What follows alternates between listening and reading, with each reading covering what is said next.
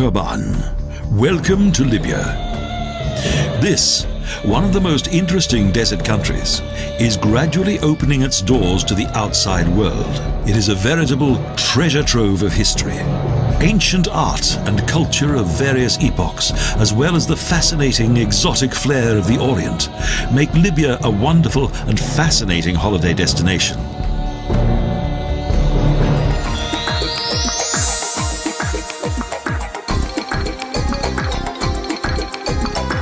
The capital, Tripoli, awakes early in the morning. Fishermen return from their nocturnal work at sea along with their catch, fresh and tasty, and ready for the market.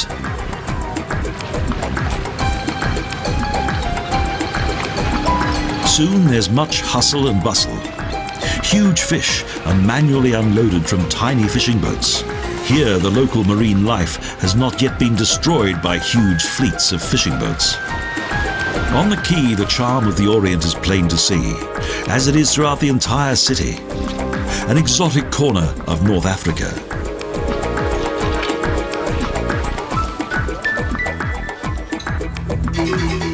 The old town is known as the Medina. With its narrow lanes and squat buildings, it's a combination of Arabian, North African, and Mediterranean cultures. The joie de vivre of the local people is obvious, and music and dance are part of their daily lives. In antiquity, the city was called Oea. It was one of the three cities of Tripolitania, and in Roman times this section of the coast contained the trading towns of Leptis Magna and Sabratha. When this region was conquered in the 7th century by the Arabs, they made Oea their capital city and gave it total autonomy.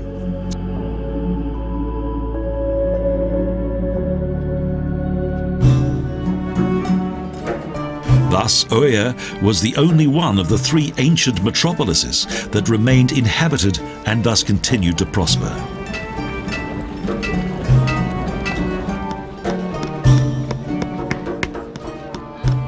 Since 1963, Tripoli has been the capital of the great socialist Libyan Arab People's Republic of Jamahiriya, the state of the masses. Following age-old tradition, merchants and manufacturers of various products are located in the numerous alleys of the souk. Arts and crafts are still important here. Elsewhere, fruit and vegetables are available, and a wonderful array of fresh fruit is offered for sale each day, with marvelous spices adding to the exotic aromas. The triumphal arch of Marc Aurel is located at the exact center of this ancient city. And the original man-made surface beneath the arch is still in good condition. The city and newly established region of Africa Nova fell to Rome. The Karamanli Palace has been lovingly restored and now contains a museum. This splendid building was built at the end of the 18th century. Once the former owner Yusuf Karamanli and his many wives walked through these shadowy arcades.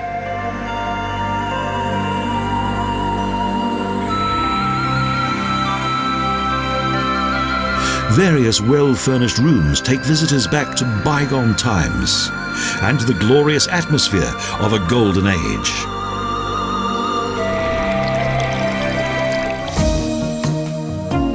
In the surrounding area, time has certainly not stood still. The traditional work of the city's tailors is now performed with hot irons and modern sewing machines.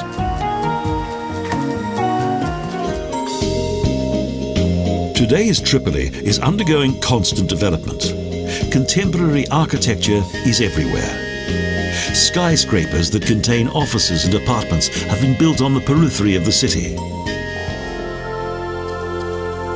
The city's last remaining Orthodox church is dedicated to Holy George. He was a soldier of the Roman Empire who refused to persecute the Christians and so was put to death.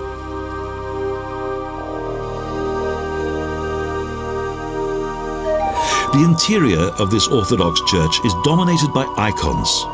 Its windows to eternity are not painted, but written on. Unique works of art. The Green Square, Ashaha al-Qadra, is situated in the center of the city. It's a place where both local people and tourists congregate. Large military parades also take place here.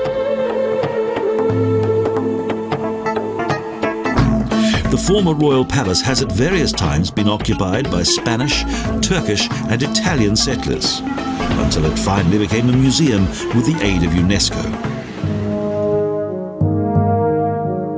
Tripoli has had a dramatic past. And there's no better place in which to learn of this than the National Museum, the Jamahiriya Museum.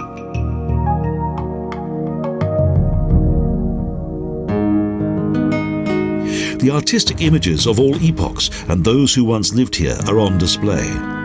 Since its renovation, the museum has been one of the most modern museums on the African continent.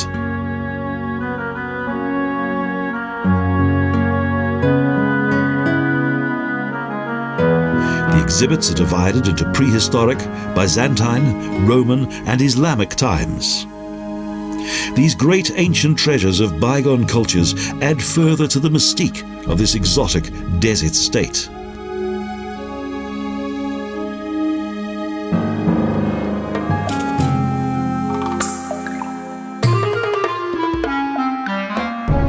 Mosques are the prayer houses of Islam. One of the most beautiful is the Gurgi Mosque that was donated by a merchant, Yosef Gurgi, who originated from Georgia. The imposing Maidan al-Jazayir Mosque was once a Catholic church. Around the church is all the hustle and bustle of the old town. In Libya, belief in Allah and His Prophet is part of daily life. And several times a day, the faithful come to pray. Almost the entire population is dedicated to the state religion, Sunnite Islam.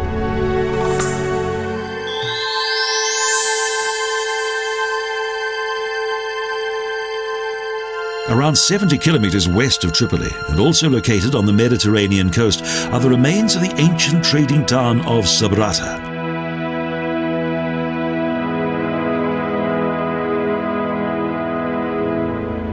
Its theatre has been rebuilt and is an impressive structure. It dates back to the 2nd century AD and was built by the Romans who came here after the Phoenicians and gave the city a completely new appearance. It could accommodate up to 5,000. This amazing treasure lay hidden beneath the desert sand until it was discovered by a group of Italian archaeologists.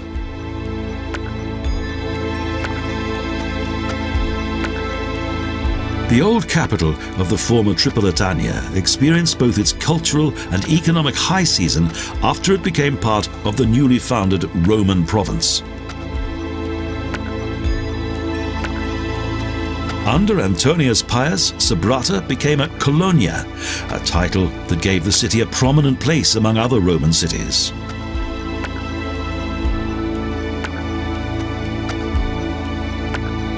Several baths, including the sea bars that are situated close to the coast, indicate the luxurious living standards of those ancient times.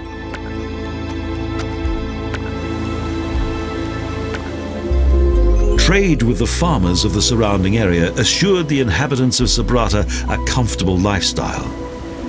Several of its citizens enjoyed much wealth.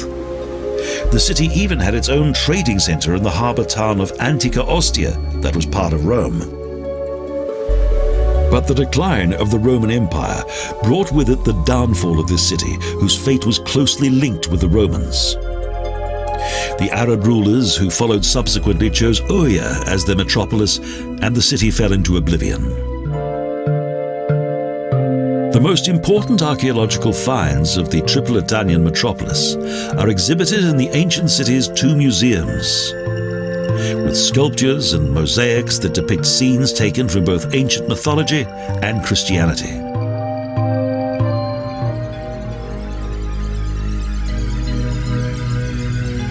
At first, it was the Roman religion that dominated the city, but after some years, Christianity gained more and more followers.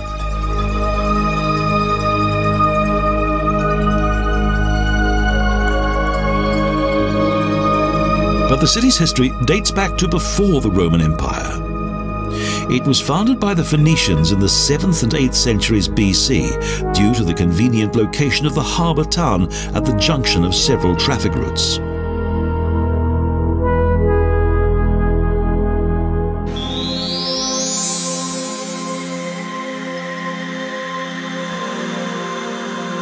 Our journey to southern Libya begins. We leave the Mediterranean coast and venture inland. First, we reach Ifrin, an old mountain settlement.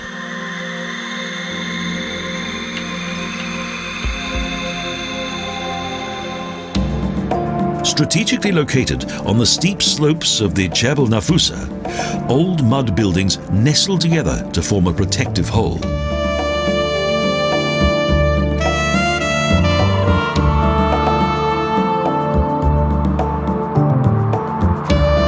The narrow alleys of this Berber settlement indicate harmony, with extended families, each one of which has a chief.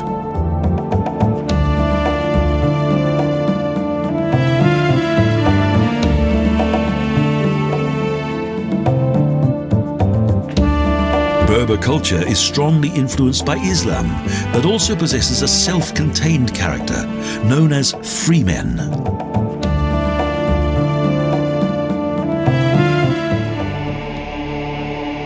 In addition to agriculture and livestock, the village community of Ifrin also produces pottery. And numerous cave dwellings are open to the public.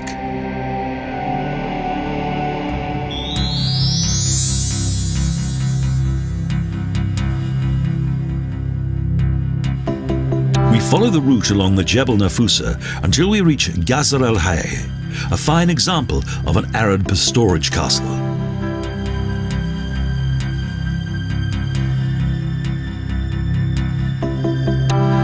Around 800 years ago, a sheikh stopped here on his pilgrimage from Morocco to Mecca. While doing so, he gifted this large circular building.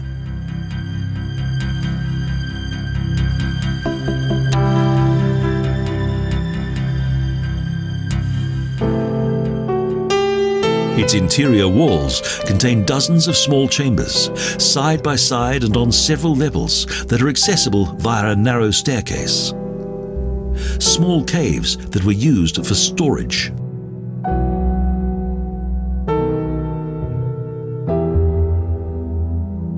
The fortified buildings were well guarded and provided travelers as well as various nomadic tribes with storage rooms for their food and personal belongings.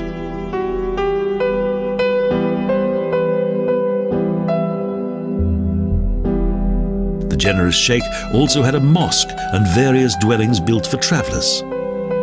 Thus, this place soon became extremely popular.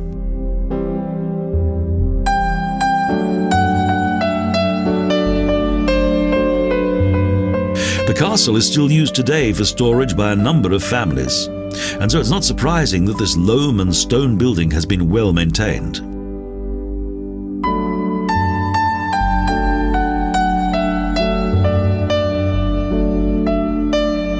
When there was danger, the local people sought shelter here.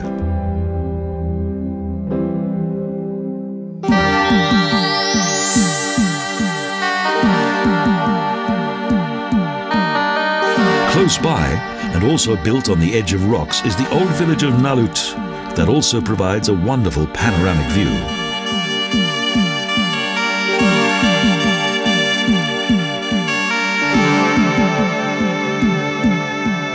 Nalut is no longer inhabited, but the remains of its mud buildings indicate how this former Berber settlement once looked. Its inhabitants were resettled in a nearby town, and their original village gradually fell into decay.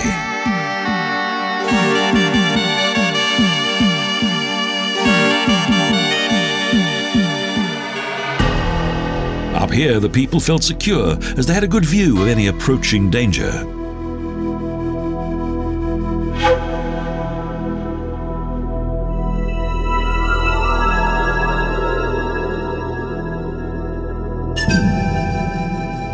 The buildings were constructed in the traditional way, the ceilings being supported by palm tree trunks cut in two.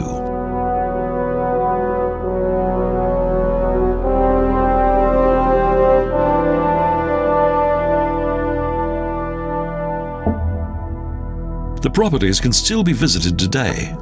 They give a good idea of the simple way of life of their former inhabitants.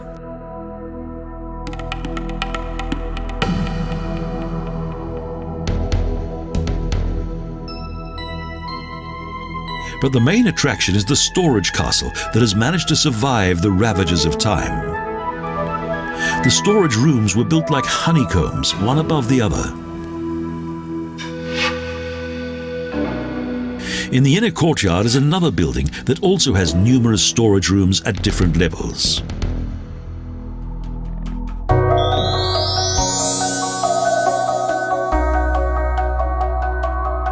The route to Ghadames travels past the Sinan Oasis, whose palm gardens are no longer tended to, as the people who once lived here have since been resettled. In former times, oases were important resting places on the arduous journey across the desert. But modern roads make them less important today.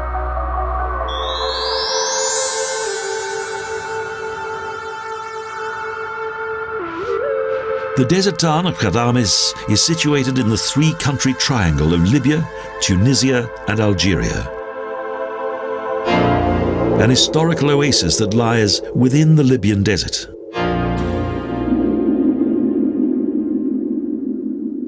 A seven kilometer long wall surrounds the town that is entered via seven gates. Each of the town's seven clans had its own entrance.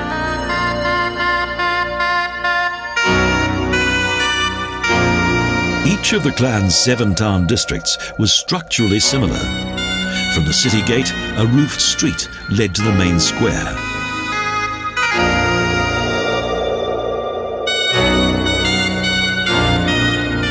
Each district had its own mosque and Quran school.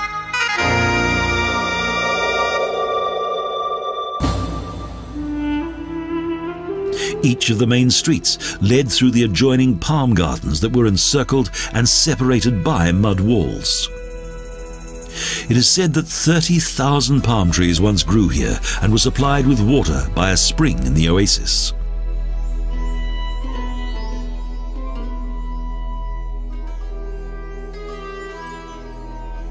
For centuries, Ghadames has been the junction of several caravan routes. Thanks to the Mare Spring, this oasis town has benefited from a good supply of water. Indeed, it brought fame and prosperity.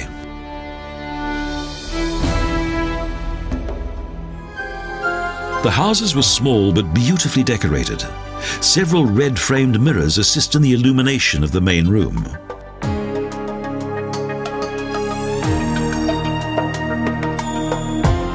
Uppermost roof terraces, the women could survey everything, each approaching caravan or suspicious rider.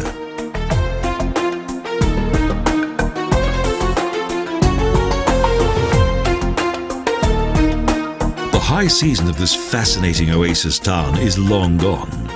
No longer do caravans stop here on their way to Cairo, Tripoli and Timbuktu.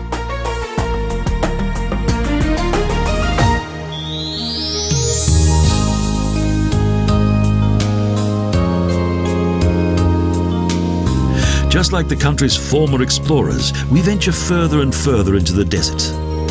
We spend the night in Kirkiba camp, in circular straw huts at the foot of huge sand dunes.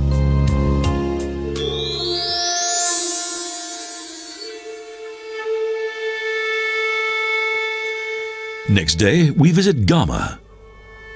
About 2,000 years ago, this was the capital of the Garamantes realm. Today, it is only ruins.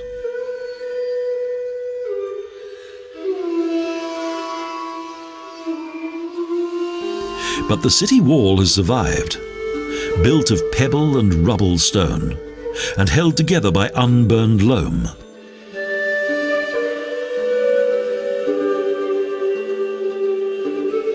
English archaeologists discovered this ancient city in the 1960s.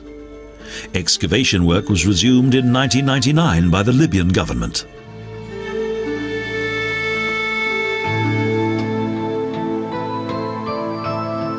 The Garamantes were the most feared opponents of the Romans.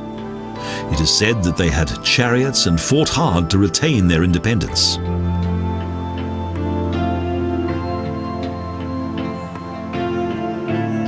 Only the Arabs under their commander Okba ibn Nafi managed to defeat the Garamantes. They were enslaved without mercy.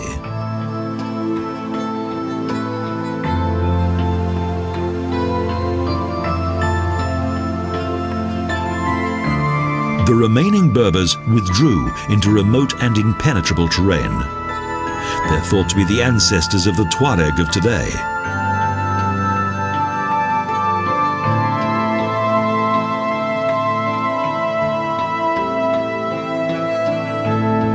Then followed the rule of the Tubu, who were replaced by the Sultan of Morocco.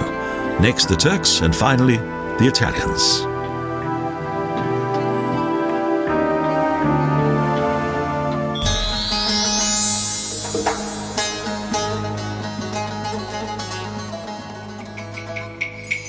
Ghat is the only large oasis in the southwest of Libya. It was once an important caravan stop at the junction of several caravan routes. Even today, it's an important center for the Tuareg of this region.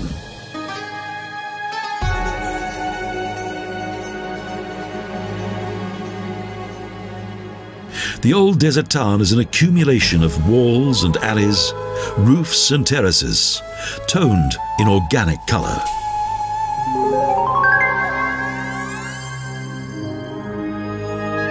Today, the historic old town is uninhabited, but its stone walls and air-dried mud tiles still remain.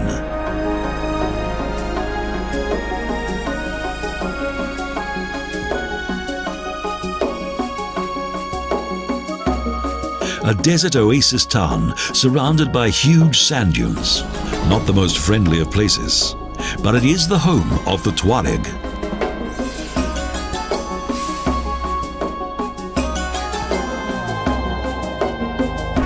The old town is somewhat small and its alleys fascinating.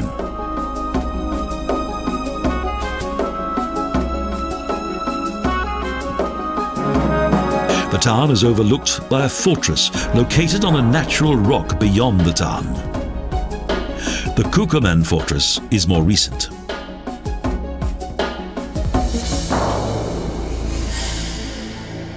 Today, many attempt to stem the natural decay of the buildings and to save this mud town from further ruin.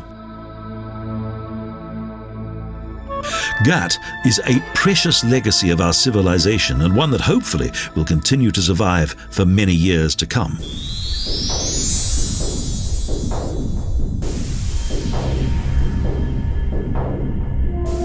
This is the entrance to an enchanting world of sand and stone.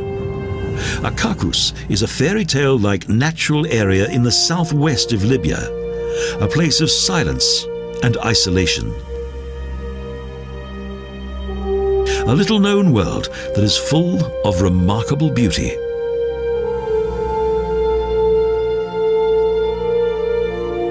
Such as the Guelta Tashunt, a wadi that is well known for a very narrow canyon that can only be entered on foot.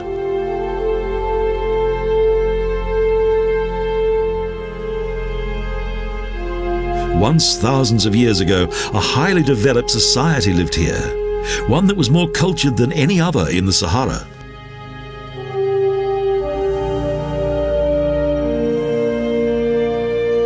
The desert area of sand and rock is the result of various climate changes. There was once a savanna here.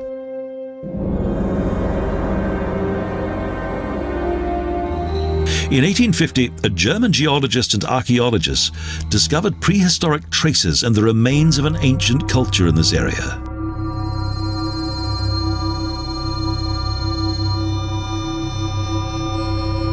Protected by huge rocks and hidden in a tangled labyrinth of canyons, rock paintings remained undiscovered for thousands of years.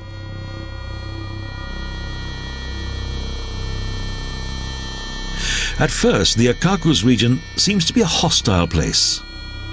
But despite the inhospitable terrain, people have settled here.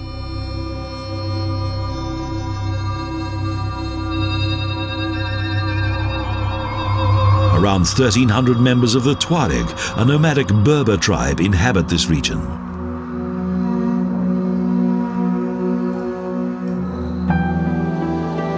Mighty sand dunes rise into the sky. Sand deserts, such as this one in the Akakus, cover only 20% of the entire surface of the Sahara.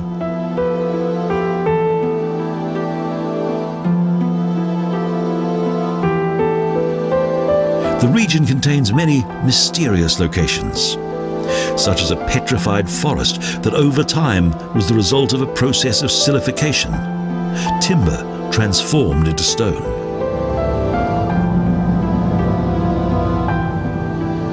The wind constantly creates new, flowing patterns and lines on the large sand dunes, the infinite masterworks of nature.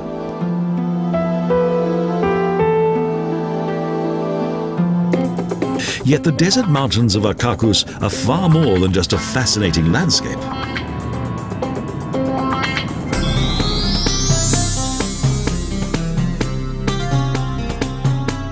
At first sight, it seems to be an insignificant dried out river valley. But the Wadi Matkandush hides a unique treasure of human history. A treasure that has lain hidden for thousands of years.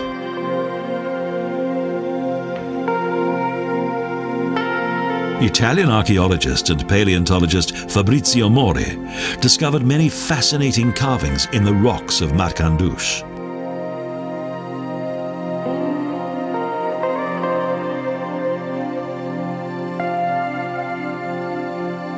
According to the rock pictures, this region has not always been as dry as it is today.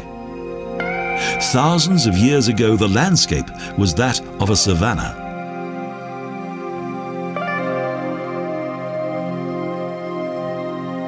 why the early inhabitants of the desert mountains of Akakus carved images of the indigenous wildlife into so many rock walls of the river valley remains a mystery. Perhaps the rock walls of this dried out river valley were once a sacred place. That would explain the excellent condition of the images.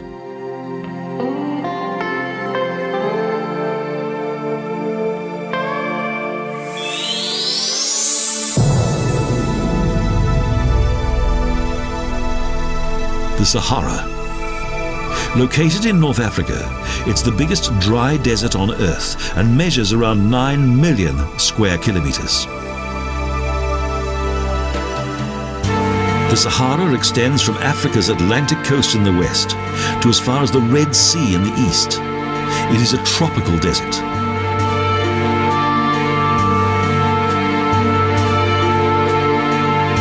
The Saharan climate is extremely dry with hardly any rainfall. And in summer, the temperature soars to an amazing 55 degrees Celsius. However, the temperature here can be subject to much change with extreme fluctuation depending upon the time of day. At night, it can go down to minus 10 degrees. Most people think of the Sahara Desert as consisting mainly of sand. This is not true, as it's stone and rock that cover most of its surface.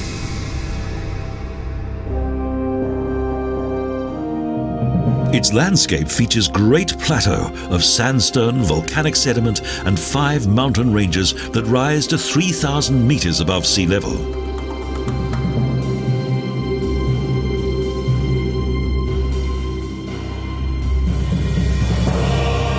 Three quarters of the Sahara is without vegetation. And due to the angle of the sun, it is the hottest region on Earth.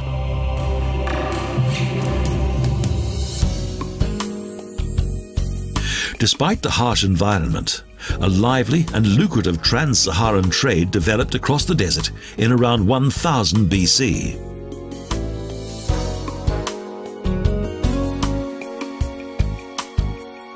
At first, it was the Carthaginians. And three centuries later, trade reached a new high due to the Romans, who introduced the camel as a beast of burden. Without the camel, or to be more precise, the single-humped dromedary, human habitation would have been impossible here. The Sahara is rightly called a wonder of nature.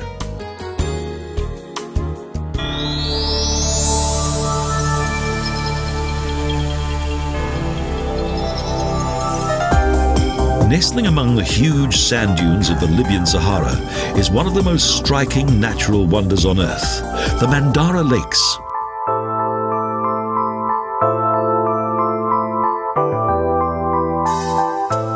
The appearance of the lakes varies according to prevailing groundwater conditions.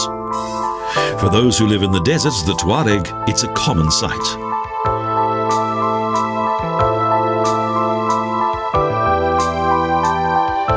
Some of the 11 lakes have dried out, while others are at their most impressive. Between the Wadi Ajal in the south and the Wadi Ashiati in the north is the tongue of the seemingly endless ocean of sand of the Ubari.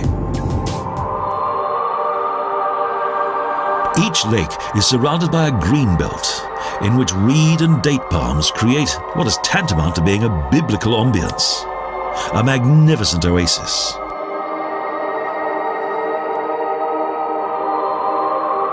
Some of the Mandara lakes dry out completely, but are not buried by the ever-moving masses of desert sand.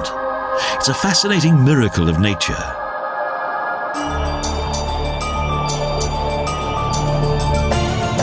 People settled around the lakes, the worm eaters.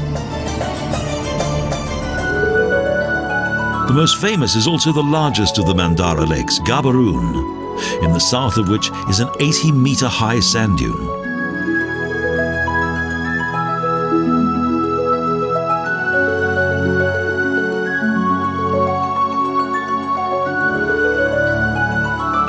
Lake is situated in a peach-coloured 200-metre-high dune area, framed by reeds and palm trees. A typical oasis.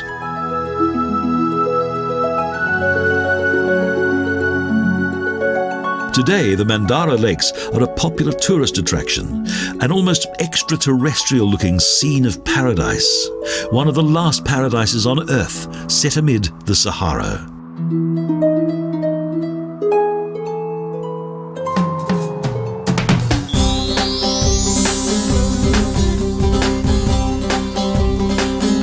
Short journey takes us to Sabha, the metropolis of the south, a lively administrative city that originated from seven individual oases. Images of Colonel Gaddafi are omnipresent. He was the leader of the Green Revolution in 1969 that forced the king to resign.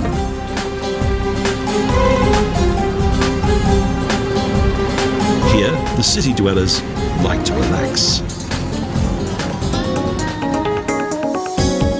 Here are club-like holiday resorts with Libya's typical bungalows, various entertainments and a small animal park.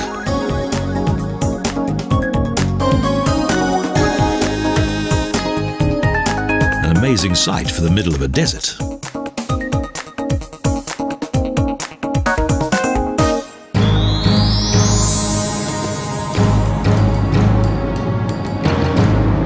The Sahara, we travel to the country's eastern Mediterranean coast and to ancient Cyrenaica, the largest city in today's Benghazi. Of the historic city of the Pentapolis, the Greek five-city alliance, nothing remains today, as it is now covered by modern city buildings. The former Italian cathedral decorates the promenade of the harbour city. Some distance away, huge cargo ships lie at anchor, and harbour work goes on both day and night.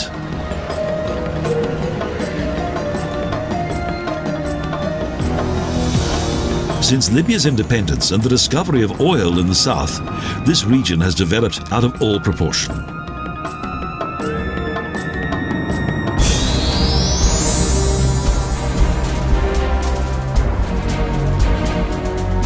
Further east are the ruins of the ancient coastal city of Ptolemais. This town was also once a member of the Pentapolis Alliance.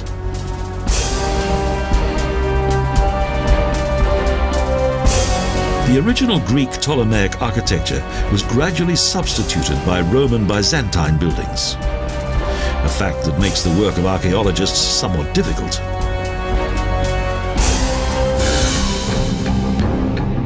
Devastating earthquake caused great damage here, and the city fell into ruins along with all of its splendid works of art.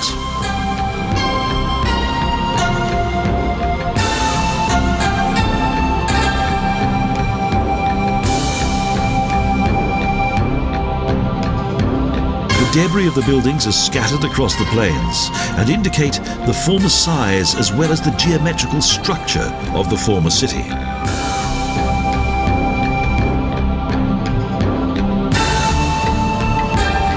When the last Ptolemaic king, Apion, died in 96 BC, Cyrenaica was taken over by the Romans.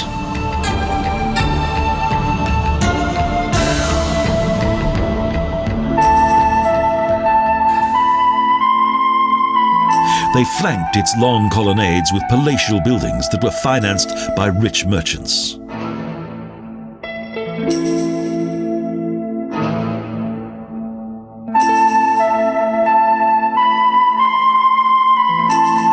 The former great Palace of Pillars appears with a fine view of the sea.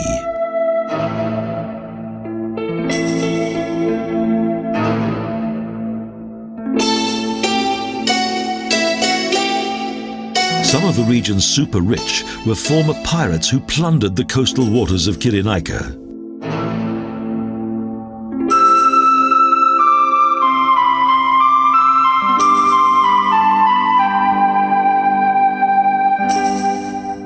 Rome hunted them down. But Cornelius Lentulus Marcellinus did not enslave them, and instead settled them here and let them live as prosperous citizens.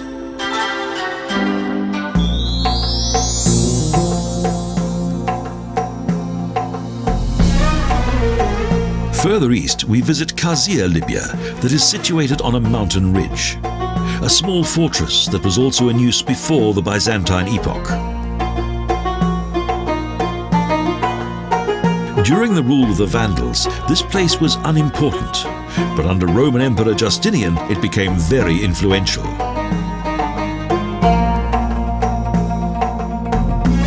A basilica with a foundation in the shape of a cross originated in the 5th century.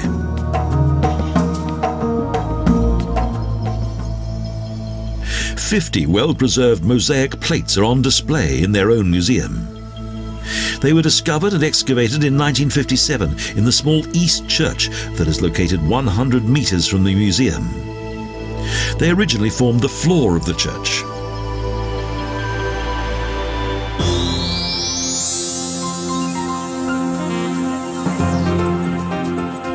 Close by is Al Baida, 614 meters above sea level, on the slopes of the Jebel Akhdar, and with traditional white buildings.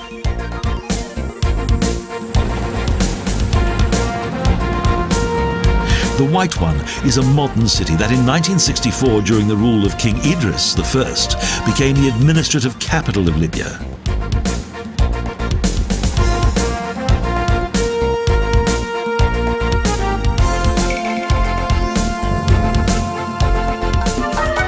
In 1843, Muhammad Ali as-Sanusi founded a Muslim brotherhood here that was named after him. This brought him the distrust of the traditional dignitaries who banished him from the city. But his doctrine spread to the entire Sahel zone.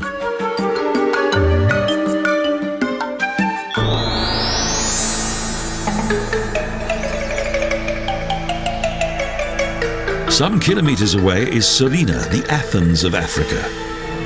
An ancient city on the slopes of the green mountain of Cyrenaica, a coastal region in eastern Libya.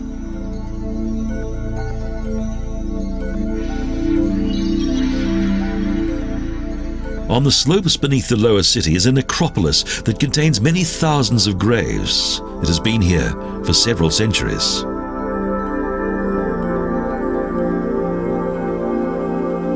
The Oracle of Delphi once advised the inhabitants of Greece's volcanic island of Santorini to move to the North African coast where they would find a golden land.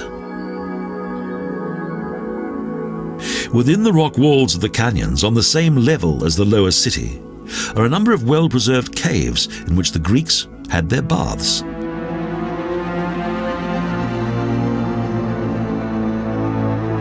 The settlement consists of an upper and a lower city.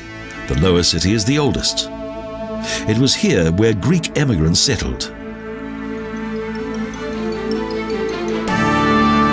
The Pentapolis was established here, the alliance of five cities, and the Cyrenaica became the granary of Greece.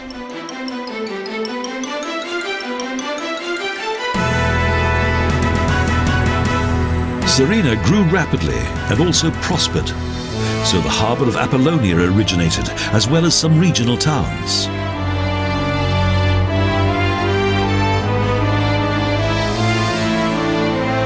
Then followed the Egyptian Ptolemies, who made this town a centre of learning.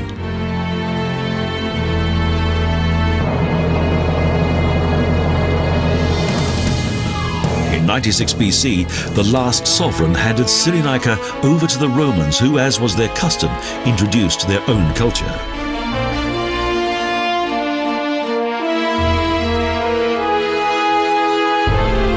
The Roman Empire also influenced this region.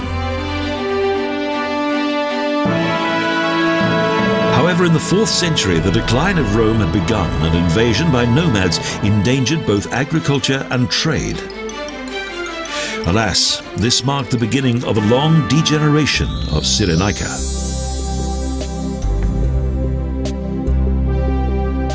Cyrene had its own harbour, Apollonia, around 20 kilometres away with a fine coastal location. It was a natural harbour.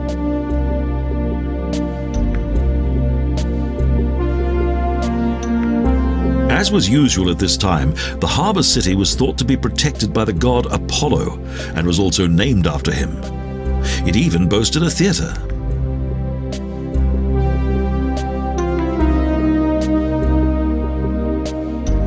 Mighty city walls protected the city and its inhabitants. The buildings had their own water supply, the ruins of three churches that date back to Byzantine times show nothing more than a few splendid marble pillars.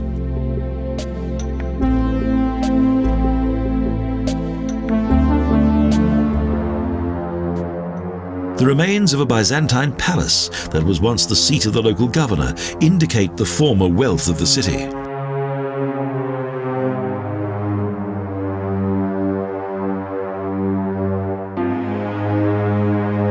During the high season, trade was carried out to as far as England. Thus, grain from North Africa was traded with tin from Cornwall.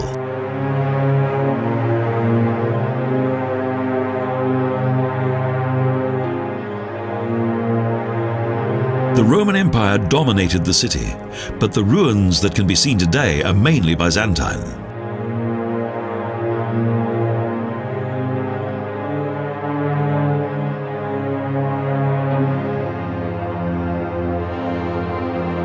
With the downfall of Cyrene, the harbour city of Apollonia fell into oblivion. Today, the main part of the harbour lies underwater.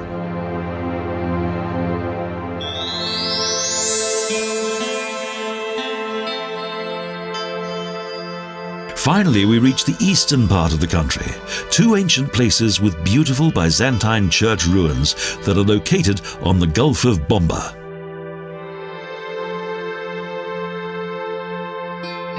In Latrun, the ancient Erythron, are the remains of two churches. One is the West Church that is surrounded by a wall.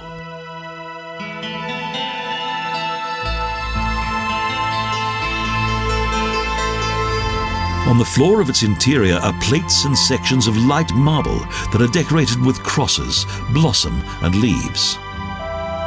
They were placed here by archaeologists.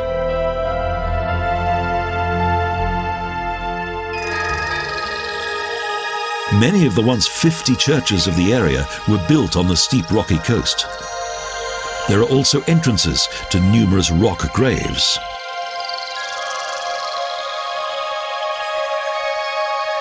The view from the coast inland features the nearby green mountains, the Golden Land.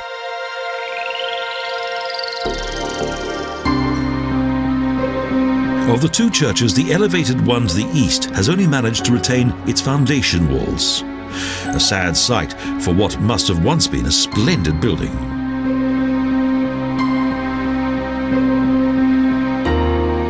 Also, Latrun was one of the cities of the Pentapolis, and at the end of the 4th century, the seat of the Patriarch, and an important place of pilgrimage.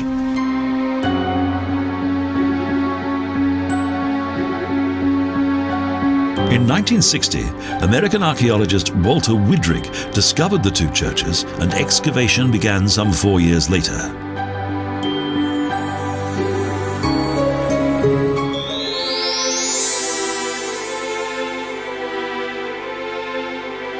The foundation walls of the Byzantine Basilica in the nearby Ras al Hilal are in good condition.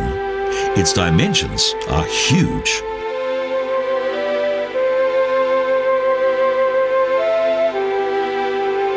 The elevated church ruins provide a wonderful view of the sea.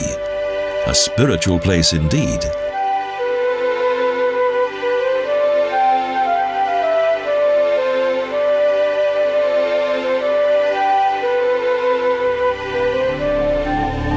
Steps to various galleries in ruins, rooms for water systems, and the remains of once huge mosaics.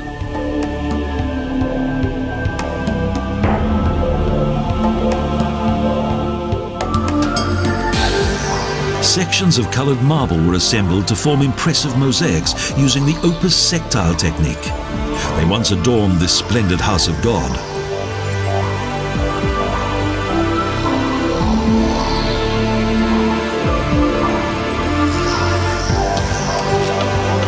The Byzantine doctrine, the Orthodox Church of the East Roman realm, is in both language and thinking influenced by Greek culture right up to the present day.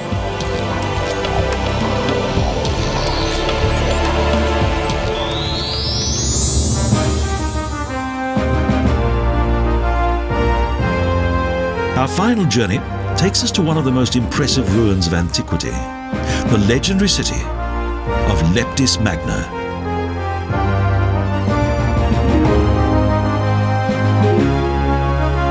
A unique ancient metropolis, a fine treasure trove on Libya's Mediterranean coast.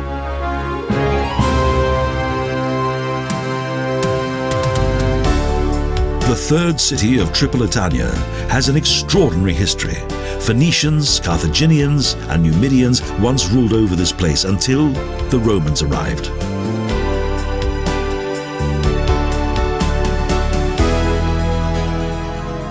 However, its forced integration into the Roman Empire did not bring economic stagnation, but instead a splendid epoch of prosperity. The former Leptis became the Great Leptis. This was the birthplace of a Roman emperor, Septimius Severus.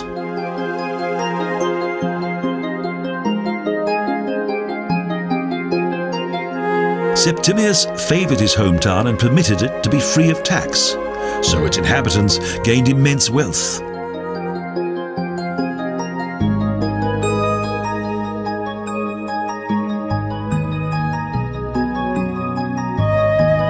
After Rome and Carthage, Leptis Magna was the third largest city in the Roman Empire, as is evident by these impressive excavation sites.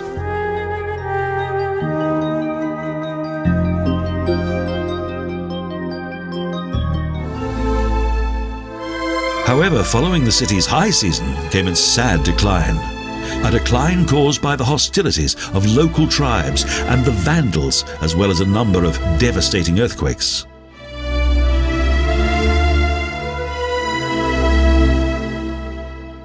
The once magnificent Leptis Magna was subsequently abandoned.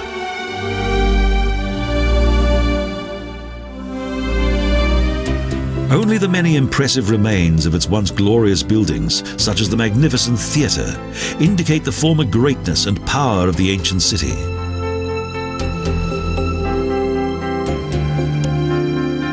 Following the conquest of Tripolitania by the Arabs in the middle of the 7th century AD, the centre of power was transferred to Oea, today's Tripoli. Yet Leptis Magna is one of the most important and striking archaeological sites of antiquity.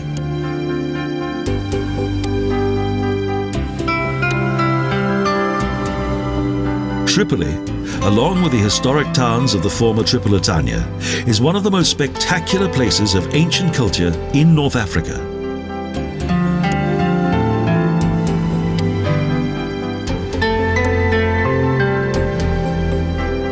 The heritage of an advanced civilization located on the edge of the Sahara magnificent history, untouched coastlines, and endless desert landscapes with oasis settlements, salt lakes, rock paintings, and Berber towns.